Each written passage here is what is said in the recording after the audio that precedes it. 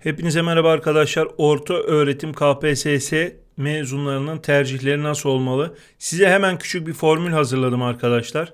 KPSS orta öğretim tercih kılavuzu 2020 tercih formülleri nelerdir? Hemen onları söylemek istiyorum size. Bunu bir aşağı indirelim. Şunu da şöyle alalım.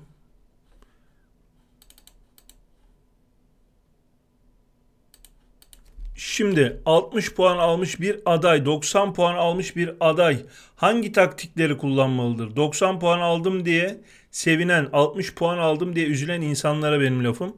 Şimdi bunu kaydetmiyoruz. Şöyle bir formül. Ben bunu canlı anlatacağım. Çünkü yazarak anlatırsam e, pek bir şey anlaşılmayacak. Normalde sizin aldığınız puan 60 ise üzülmemeniz gerekiyor. 90 ise gene sevinmememiz gerekiyor. Çünkü sebep meslek.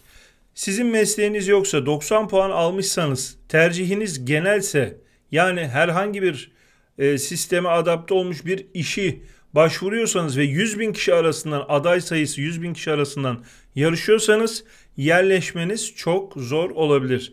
Mesleğiniz varsa 60 puan almışsanız, hemşireyseniz, İstanbul'daysanız 300 bin kişi bile arasında olsanız yerleşmeniz daha kolay olur. Neden diyeceksiniz?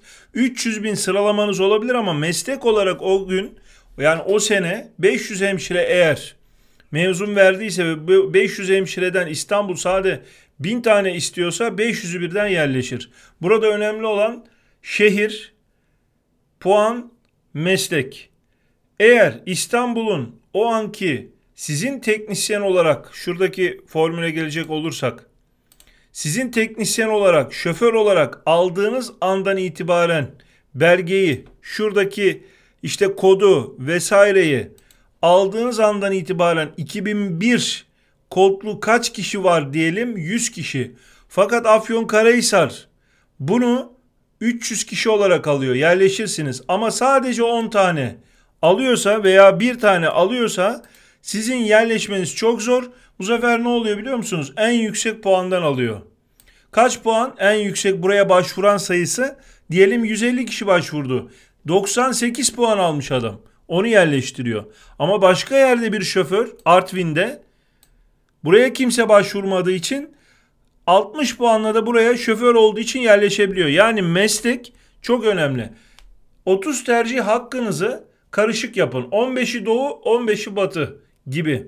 Size yakın şehirleri ilk 3 sıraya koyun. Size biraz daha uzak şehirleri ilk, ilk 6 sıraya koyun.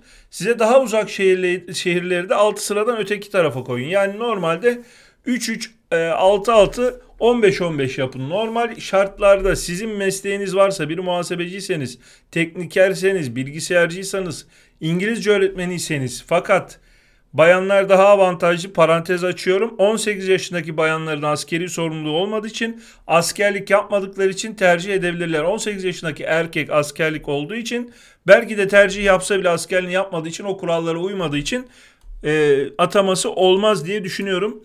Burada bakın Boğaziçi Üniversitesi demiş. Şimdi ben buraya teknisyen olarak başvurdum diyelim ki Beşiktaş'ta. Bir tane adet kişi alacak.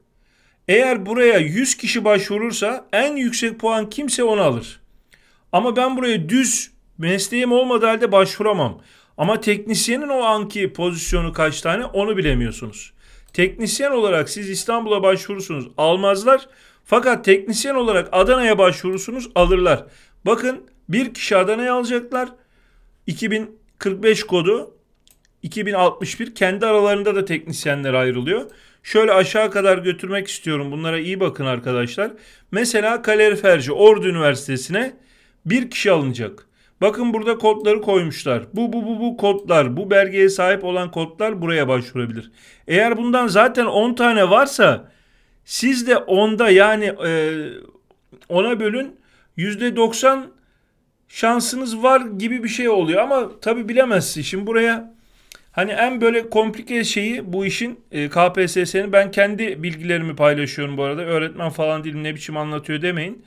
En komplike şeyi orduya kaç kişi müracaat edecek? Benim müracaat ettiğim zaman KPSS'de çok taşra bir yere 60 puanla atanan vardı ve benim puanım ondan yüksekti.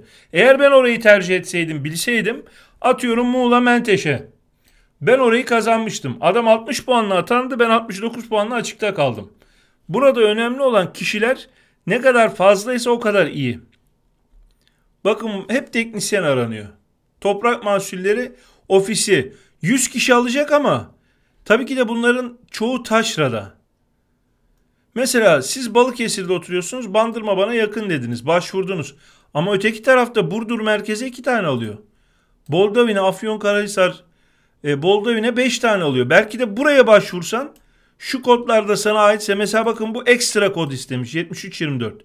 Mesela teknisyen ama makina teknisyeni. Teknisyen ama işte hani mühendislerde de var ya teknisyen ama işte bilmem ne teknisyeni, diş teknisyeni gibi gibi böyle çoğaltabiliriz örnekleri. Mesela askeriyeye alınacak, askeriyeye alınacak sağlık memuru, diş teknisyeni. Bak burada ne diyor? Sağlık memuru. Zonguldak 7300 bak. Bu koda ait bir kişi varsa ki 9 kişi istiyor. Zonguldak'a başvursun 60 puanla atanır arkadaş. Ne diyoruz arkadaşlar? Meslek önemli, puan önemli, şehir önemli. Adam mesleği yok 90 puan almış hiçbir şekilde o e, şeylerinden de yok. Şu ne diyorlar? Şu kodlarından da yok. Meslek kodlarından hiçbiri yok. Hepsi düz. E şimdi adam 10 bin kişiden başvuru yapıyor. 2001 galiba genel benim bildiğim. 2001'den başvuru yapıyor. 10 bin kişi 2001. Sırayı 10 bin kişi olsa ne olur? 10 kişi alacaklar. Ama 7302'de belki de 20 kişi de var bu kod. O meslek dalı çok önemli. 60 puan aldım diye üzülmeyin, 90 aldım diye sevinmeyin. Ben dediğim gibi 61-60 puanla atanan adam biliyorum. Benim tercihim eğer orası olsaydı 61 puan üstünde 69'la atanırdım. Bugün memurdum. Hangi yer ne, nasıl kapanıyor bilinmiyor. Bazen doğu, bazen batı. Onu bilemiyor. Kimse bilemez. Ama sizin mesleğiniz varsa karamsarlığa gerek yok. Meslek burada çok önemli arkadaşlar. Meslek çok önemli. İnşallah 30'unda da başlıyor. 30 Aralık 7 Ocak tarihleri arasında. Devlet şu anda talep topluyor. Yani şöyle söyleyeyim size. Bana ne lazım? İşte şu kadar şoför lazım, bu kadar teknisyen lazım, bu kadar bilgisayarcı lazım deyip listeleri ÖSYM'ye gönderiyor. Tercihleri yaparken lütfen doğu mu batı mı diye tercih edin. Hani şöyle de düşünmeyin evime uzak ben gidemem. Doğuyu tercih edin ondan sonra atanırsınız. Tekrar e, tayiniz çıkar 5 sene sonra gidersiniz. Dediğim gibi çok dikkatli seçin. Hani herkes İstanbul'u seçerse ne oluyor 100 bin tane kişi? Memur olması mümkün mü İstanbul'da? Değil tabii ki de. Herkes aynı yeri seçiyor. O yüzden Doğu'yu çok seçtikleri seneler Doğu'nun puanı 97'de kapatıyor. Batı 61'de kalıyor. Hani böyle de bir saçmalık var. O yüzden 15 tane Batı, 15 tane Doğu. İlk önce size yakın olan il ve ilçeleri üçer üçer Doğu Batı olmak üzere sentezleyip tercih yaparsınız. Mesleğiniz varsa çok avantajlısınız. Mesleğiniz yoksa 97 bile puan alsanız oraya 500 kişi başvursa 10 kişilik kontenjana 97.01 alan o mesleği o şeyi kapar, bölümü kapar. Ben bunu gördüm, bunu bilirim arkadaş. Kendim çünkü tercih yaptığım zaman her zaman bu hataya düştüm. Acele yapmayın. Sindire sindire yapın. 30 Aralık 7 Ocak tarihleri arasında inşallah bir yere yerleşirsiniz. Ben de inşallah yerleşirim arkadaşlar. Kesinlikle formül 15 batı 15 doğu olacak. 30 tercih arasında meslek sahibiyseniz diyelim ki Ankara 500 tane hemşire alıyor. 50 puan alıyor. Ne olacak ki? 50 puanla yerleşirsin sen. Meslek var mı? Benim, ben hemşire miyim tercih yapacağım? Hemşir miyim ben yani? Tercih yapamam ki zaten. 500 tane de hemşire varsa orada tercih yaptığı anda zaten açıkta kalmıyor. Bu kadar basit formül. Kendinize iyi bakın arkadaşlar.